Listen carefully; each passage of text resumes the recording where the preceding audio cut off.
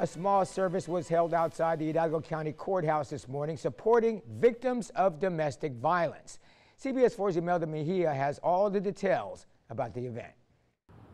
According to the Texas Council on Family Violence, more than 100 women lose their lives in domestic violence murders each year. These markers are placed here to remember those victims and keep more from dying at the hands of abuse. In 2015, Mujeres Unidas, a support center and shelter for victims of domestic violence and survivors of sexual assault and their families, helped 3,000 women. Out of those, 226 females and 350 children stayed at the shelter for safety. But those numbers don't represent everyone. That's why county leaders gathered Tuesday morning asking others to come forward. I know it's difficult. We've heard many, many stories in our offices about individuals who are afraid to come out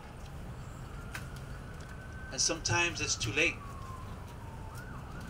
Please, I ask you, and I and I'm and, I, and I'm showing you that all these individuals that are here today are here for you. Dressed in purple, officers, civilians, and students stood in solidarity for those abused by the hands of a loved one. Domestic violence comes in all forms, including emotional, physical, and mental. Hidalgo County leaders told the public help is available but they can only step in if they speak up.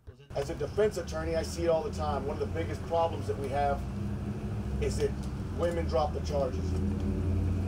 Women drop the charges. So one of the things that we've got to say is y'all need to be strong. We encourage you to take part in the conversation like you're doing today.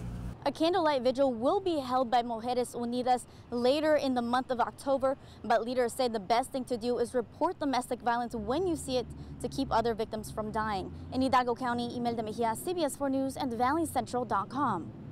Hidalgo County Sheriff Eddie Guerra says Commissioner's Court just approved his request to hire three more officers. They will be part of the Domestic Violence Task Force.